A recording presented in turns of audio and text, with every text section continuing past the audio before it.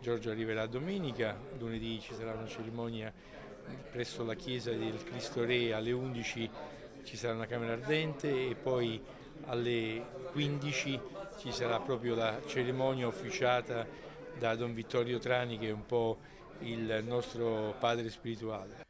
Sul campo, quasi 40 anni fa, sono stati capaci di vincere uno scudetto inimmaginabile. Oggi, imbiancati ma indomabili come allora, i ragazzi del 74 hanno realizzato il sogno dei laziali di tutte le età.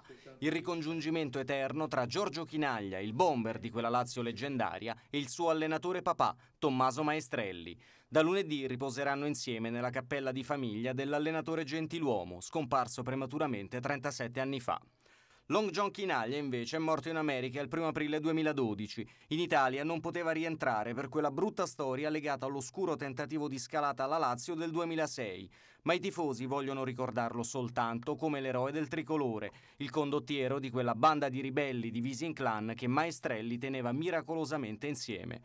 Un'unione che dura tuttora e infatti stamattina erano in tanti, da Capitan Wilson a Oddi, passando per Felice Pulici, a presentare il programma del rientro della salma di Giorgione, reso possibile dall'impegno delle famiglie Chinaglia e Maestrelli.